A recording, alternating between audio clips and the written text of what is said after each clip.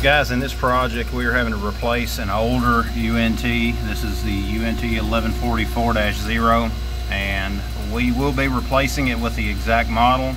Uh, but one thing that I've got to do is to pull the program from this particular controller to put it in the new one.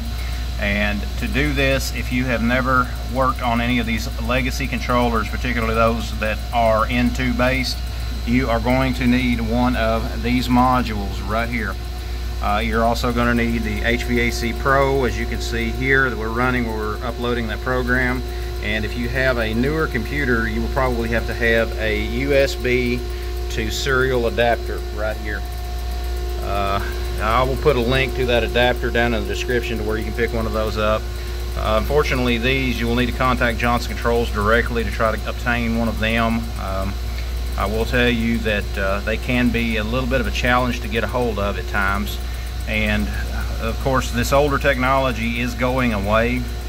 Uh, but you know, a lot of the newer stuff is replacing it, but there's still quite a bit of it out there. Whenever you replace one of these, something that you have got to be very mindful of is all of the dip switches.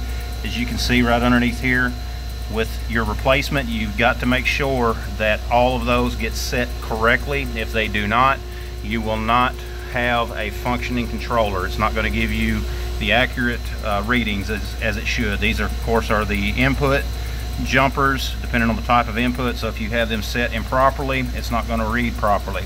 But guys it's just a quick video that I wanted to do.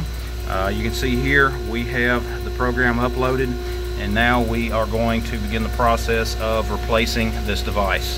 Thanks for watching and we'll see you next time